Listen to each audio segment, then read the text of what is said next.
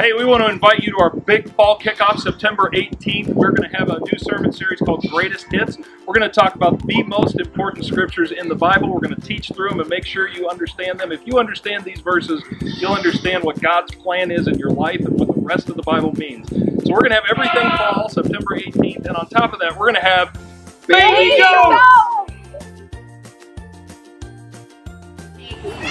Baby